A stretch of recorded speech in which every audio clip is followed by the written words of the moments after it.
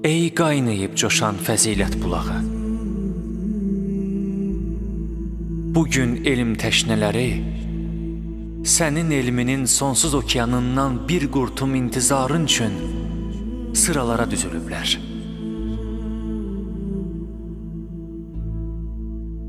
Ey ümid verən,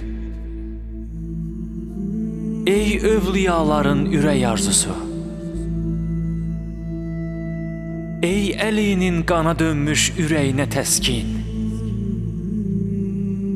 ey Zəhranın sınıqlarına məlhəm, ey Həsənin sınıq könlünə dərman,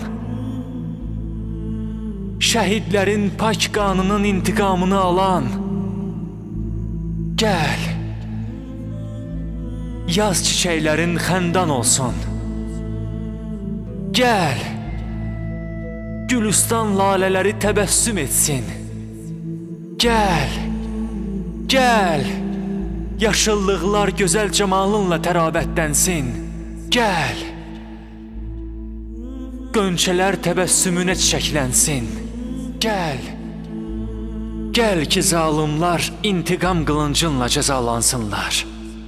Gəl ki, Tovhidin fəxrli bayrağı güclü əllərinlə bütün dünyada ucalsın.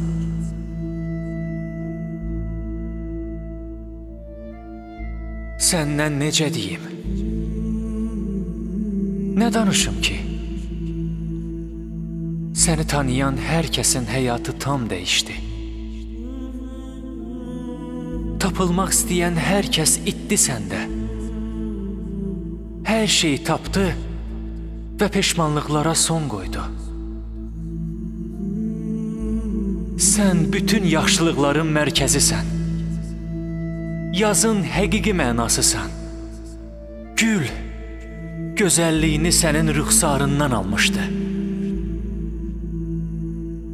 Səndən olmaq üçün hər bir insan necə olduğunu unutmalı, necə olmalı olduğunu düşünməlidir.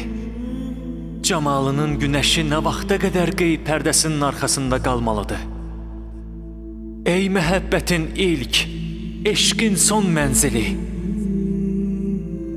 Eşqin yeddi vadisinin sadəcə bir addımında xülasə olur.